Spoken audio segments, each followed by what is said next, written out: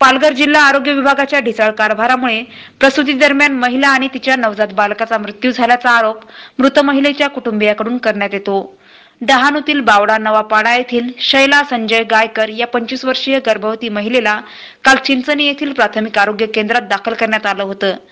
स्थानिक ठिकाणी उपचार होऊ शकत नसल्याने सदर महिलेला डहाणू येथील कुटीर रुग्णालयात उपचारासाठी हलविण्यात आलं. मात्र कुटीर रुग्णालयात दाखल केल्यानंतर अवघ्या दहा मिनिटातच सदर महिला आणि बालकाचा मृत्यू झाल्याचं वैद्यकीय अधिकाऱ्यांकडून कुटुंबियांना सांगण्यात आलं. सदर प्रकार हा आरोग्य विभागाच्या अपुऱ्या साधन सामुग्री आणि डॉक्टर्सच्या हलगर्जीपणामुळे घडल्याचा आरोप करत संबंधित डॉक्टरवर कारवाई करण्यात यावी अशी मागणी मृतांच्या नातेवाईकाकडून करण्यात येत आहे. आरोग्य केंद्राला म्हणजे चिंचणीला आम्ही गेलेलो. तिथे काय सिस्टर लोकांनी दात घेतली नाही. ते लोक बोलतात का मुलाचा बोलता हात बाहेर आला मी डहाणूला घेऊन कॉटेजलाच घेऊन जावं लागेल कॉटेजला आम्ही इथे आणलं.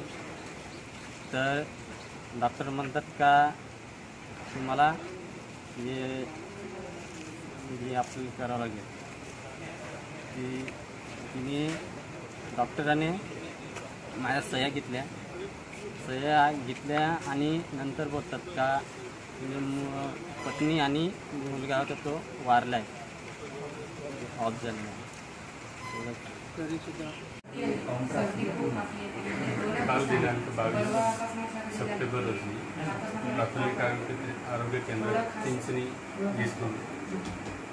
अ, श्रीमती शैला संजय गायकर नावाची गरोदर माता संध्याकाळी पाऊण चारच्या सुमारास रुग्णालयात दाखल झाली अत्यवस्थ अवस्थेत असताना ते रुग्णालयात दाखल करण्यात आली.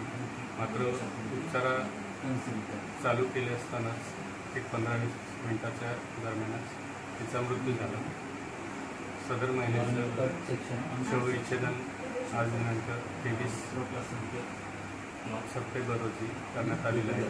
आणि पुढील तपासणीसाठी अं, विसरा आणि केमिकल अनालिसिससाठी पाठवण्यात आलेलं होती त्याचे अहवाल प्राप्त तर मृत्यूचं निश्चित कारण देणे शक्य होईल.